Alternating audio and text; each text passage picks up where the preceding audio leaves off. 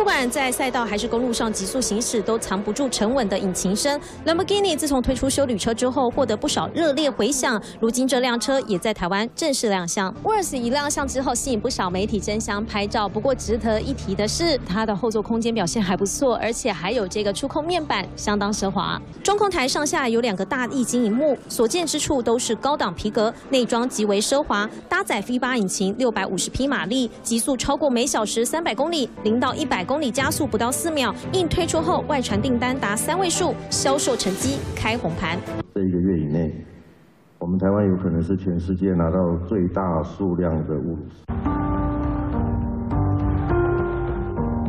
宾利几年前就有推出修旅车，不过外传可能会推酷配跑旅性能版本，拥有六百零八匹最大马力，要 PK Lamborghini 的 Urus。另外顶级车推 SUV 的还有它。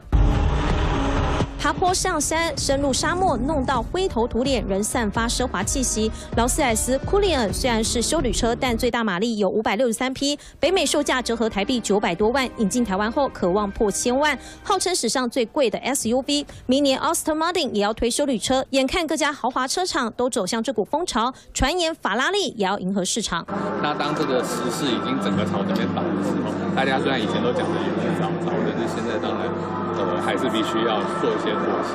网路流传法拉利修旅车经典红色外观，不失跑车感。外传渴望有 V8 引擎、阿法罗密欧底盘。这几年吹起修旅车风潮，让顶级车厂纷纷放下身段，推出自家最炫的 SUV，就是要卡位这块市场。三立新闻股高书邱子林台北报道。